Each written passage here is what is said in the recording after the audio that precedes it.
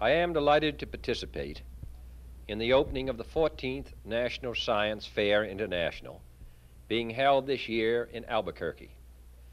The selection of New Mexico as the site for this assembly of young people who have demonstrated remarkable interest and ability in science is significant.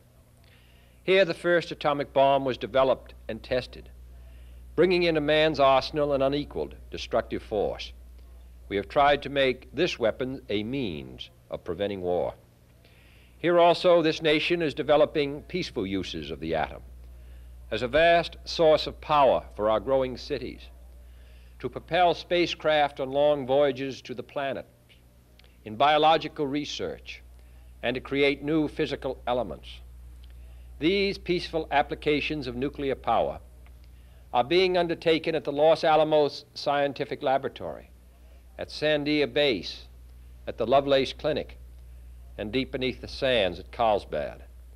So we see in New Mexico a dramatic example of how devices for keeping the peace can also expand the frontiers of knowledge and make life better. New Mexico is also the scene of extensive basic study of weather and water.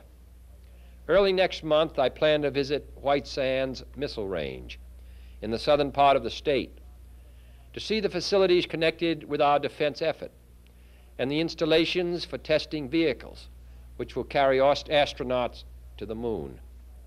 White Sands is not too far from the site of Dr. Robert Goddard's pioneer testing of rockets, work which he began in my own state of Massachusetts.